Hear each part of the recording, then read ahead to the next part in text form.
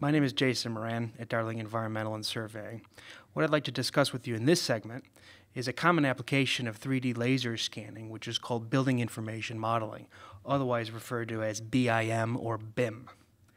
BIM is a process by which you take 3D laser scan data and combine it into a graphical and non-graphical model and create a model from which you can actually measure and chronicle as-built structures. It also encompasses all the building geometry, spatial relationships, and geographic information, as well as quantities and properties of various building components of a structure.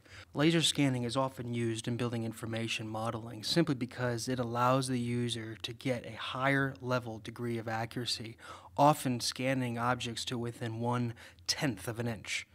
This allows you to reach a basis of design much more accurate than potentially outdated drawings actually chronicle or an individual coming in measuring key pieces.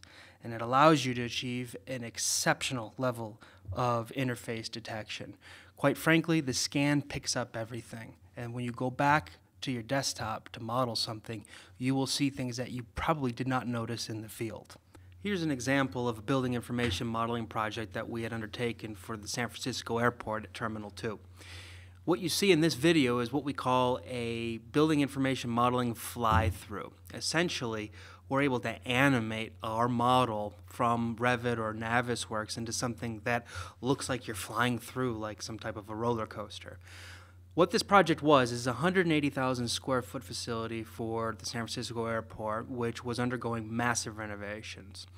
And we scanned the entire facility in 20 days on site and uh, over two levels. What you see here is we're going down into the crawl space. And yes, this crawl space is only four feet high. And yes, we did indeed scan the entire structure, both in the crawl space and at the terminal level. As you can see, there's a number of ductwork and pipe work, wall structures, and if you look at the green level on the floor, you can actually see the topography of the substructure. This is all very important for engineers that are looking at expanding certain areas because there's going to be an enhancement to various items, for example, conduit for electrical works or a sprinkler system. If you're going to be running or putting new assets into a building, you want to know whether or not you're going to have clearance at certain levels. This allows you to have zero ambiguity whatsoever with regard to the position of those assets in your model. Again, you can see we're now going up to the terminal level, and you can see all of the wall systems. You can see all of the I-beam structures. These are very important from a structural perspective because you want to know whether or not certain key areas can be reduced or eliminated altogether. What, what the 3D laser scanner does is it picks up absolutely everything. Things that you wouldn't even notice are there. And it also picks up smooth lines on various items so you can actually see whether or not it's bowing or it's a straight line.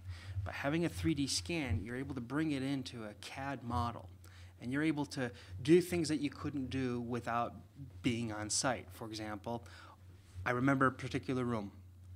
I remember what it looks like. I have a photograph, but what's the distance between, say, this doorway and this wall? By having a 3D model of it, you're able to do that remotely and you don't have to go back on site.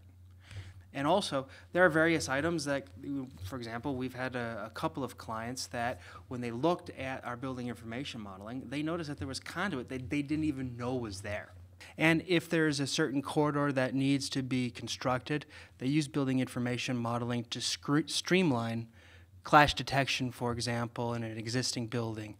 Now imagine, if you will, an airport wanted to expand a certain terminal to either accommodate a whole new gate or just more retail space so the airport can get more revenues what would traditionally have to happen is you have to close off that section and bring in contractors and engineers and architects to come and model what's going on, all at the inconvenience of passengers who are disrupted or potentially closing off whole gates and having them consolidated in other areas of a terminal. Using building information modeling will allow someone to scan the assets and mon monitor and inventory all the existing components that are within a certain area and minimizing on-site visits of various engineers and architects to figure out things of the best layout of, say, a fire sprinkler system or a security system or route access to various gates. All that can be done remotely, and it can save time as they start constructing something if a certain component or a certain extension is going to clash with an existing asset. They'll know about it beforehand, and that will reduce delays, better for the customers, better for the passengers, and better for the airport. And Surveying is one of the leading companies in the United States for 3D laser scanning. Darling Environmental and Surveying is one of the leading companies in the United States for 3D laser scanning and building information modeling. If you have any interest in implementing a BIM program to your existing assets or would like to do so for an existing project that you have coming up, don't hesitate to give us a call.